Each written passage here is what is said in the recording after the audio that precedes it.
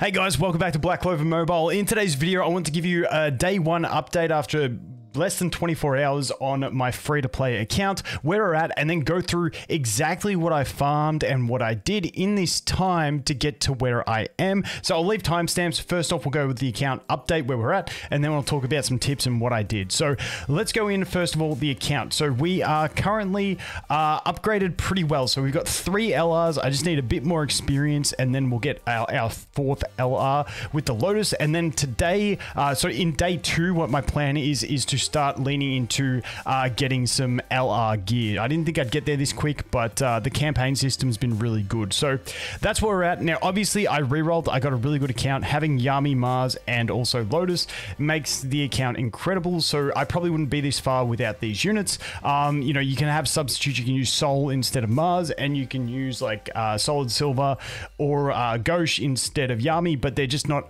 as good as these two. So there have been some of those boss fights I have struggled with. However, if you're about four days behind when you're getting to some of these campaign stages, you should be able to get some good support characters. The one problem I've had is that a lot of the bosses uh, are green and I've used a full blue team. So I haven't had any support units that have been, been able to carry me through the campaign stages. So that's where the account's at. Uh, like I said, we've got the LR units happening already, which is fantastic. We're up to this in the campaign. Uh, as you can see, episode 8 over here on chapter 4, almost completed chapter 4 essentially. Uh, and then if we look uh, basically where we're at everywhere else. Arena, I've dropped off a bit because I've been holding on to tickets because I didn't really want to get attacked. So I've been holding out and I'll do a push later today. We're currently ranked 96, but we do have four tickets plus I will purchase three today. So uh, we've been sort of normally floating by the time I use my attacks around rank 20 in Arena, which I'm pretty happy with. And I'm going to keep trying to climb. It's just that everyone uh, in the top ranks had started getting a bunch of LRs and I wanted to LR my characters uh, getting into, you know, those top 20 range so that I didn't just get absolutely slapped. As you can see here, this guy's got a bunch of URs. It's still holding some position, which isn't too bad. So that's what I'm looking at at Arena. I will do my attacks later on and try and climb back up into that top 20 or so and see how we go. Now, let's jump into and talk about what I did to get my progression to where it is now. Now, I did a few things that maybe free to play don't want to do. I did do max refills on the first day of stamina. The other way I got stamina, because obviously stamina is everything, uh, is over here in the shop.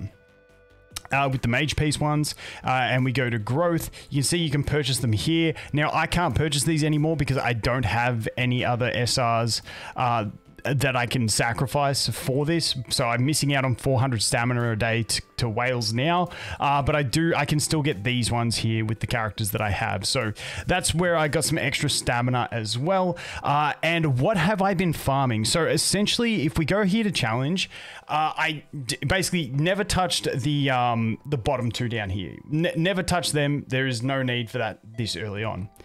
Uh, I didn't do much gear, um, except for when, and this was the big thing, when Mage Path told me to get some SR pieces of gear, then I did a bit of gear farming uh, just to, so I could get those achievements. And also, if we go into the gear, we do have that pity system, uh, and so I did farm this towards the end and got myself a few pieces of UR gear by abusing that. I definitely wanted to abuse that towards the end. So that's what, like I said, didn't spend much time in the gear dungeon. The Evergreen Forest I spent just about no time farming in here. There was a few missions that told me to go here, so I progressed through it like that. But you don't really need to farm experience. The reason you don't need to farm experience is because when you progress through the campaign, the campaign gives you so much experience that you don't actually need to farm experience early on, which is fantastic. Now, back in the Canadian version, when they had these story tickets, which you only got like six capped and, like you, you, were stopping in story all the time. Like you had to go and farm experience if you wanted to progress. But now because story is unlocked and it just costs stamina you can you, you can just keep progressing through story and that is where you get all the uh, experience that you need to level up your characters which is fantastic. So that leaves the question where did i spend all of my stamina? And the answer is pretty much in bond. Now i mainly farmed over here uh, in the the forest near uh, kicker because when I farmed that, it was giving me the food materials. Let's just go over there and take a look. But this was where I spent a lot of my farming time. Now there are different places that you can farm uh, the the bond, but this was where I chose to just because damn maintenance warning. Um, because the materials you get here are what crafts the bond food. Um, like these are the bond food materials. So I would farm a bit, make the food, farm with the food, make the food, farm with the food, make the food. And that is what I farmed. Uh, also, by doing that, it allowed me to get my reputation up with them, uh, which allowed me to unlock in the region shop. Uh, I don't want to go to the region shop, but it allowed me to unlock a gift box for defense heroes in the region shop, which allowed me to help boost up the bond over here on my Mars. Now, bond is what I pretty much farmed all day on the first day uh, because you need bond to increase your characters to LR LR, and that was my end goal, getting my four main characters to LR. Now, the one thing that I have done is I haven't used all of my gift boxes. I farmed more than I had to, because uh, if we go send gift, you can see I've got one there, but then if we go over here into my bag as well, Dude, that thing's super annoying. Where's my inventory? There it is. Uh, if we go into consumables, you can see over here, I got seven of these, which give me uh, gifts as well. Now, the reason I didn't use these and I farmed it instead was because when I was farming, these are my first four units, which means they get they're all gaining the benefit of the farming. And then I'm going to use these on the next characters that I want to build up so that I can really boost that bond with them to get them up faster. So that is pretty much the gist of what I focused on. The, the there's basically three, four main things that I focused on to recap the main things that, that were granting me progression. Well, the first one didn't grant me progression, but I focused on arena, didn't want my tickets to cap, really trying to push this. Uh, but like I said, I've stalled for now but I do have those tickets that I can go and punch out. So arena was one focus, never letting like getting in there ASAP because I want to climb the ranks. The next thing was Mage's Path. Always, I was staying on top of this. You can see my next one is get a mage to level 90. I'm not too stressed on this one at the moment. Uh, I know I can just clap through the rest of these.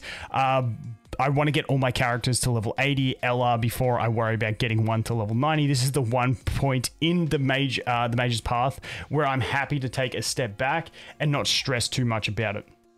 But yes, up until here, I focused completely in on the mage's path. Uh, then beyond that, the next one was, like I said, farming in on that uh, bond because the bond was what's going to get me those LR units, and then focusing on just progressing through the campaign because the campaign is just gives you so like the, the amount of experience that the campaign gives you is so utterly ridiculous. If you can get in guild with some strong people and stuff like that, uh, then it it'll it will really help you out. I don't. Why did it walk me through there? Um, but yeah, if you're if you're struggling in the campaign, get yourself into a guild. Look for some friends. Uh, try and get some friends. It just gets easier the longer the game's been out because more people have progressed. So there's more people with built units.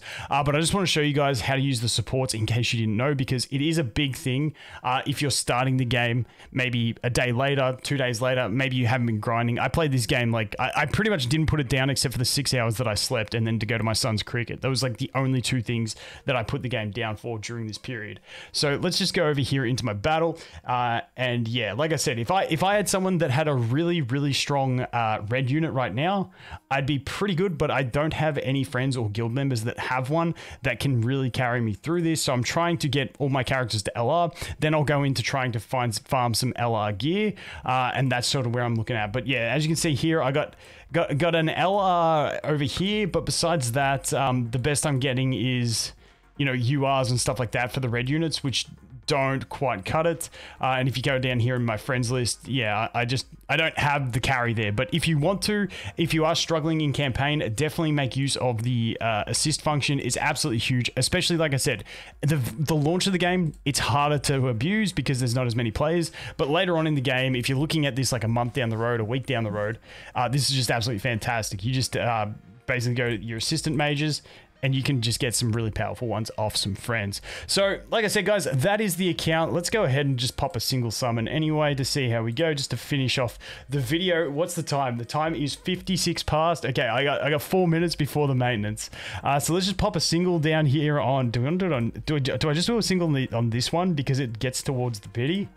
Um, yeah, let's, let's just pop a single here for the, the shits and gigs to finish it off. See if we can't. No, okay. Yeah, I, I, kind of, I, I kind of want to do so. I kind of want to do some summons because I, I want that extra stamina. That extra 400 stamina a day is huge, and because I'm not summoning, I don't get it.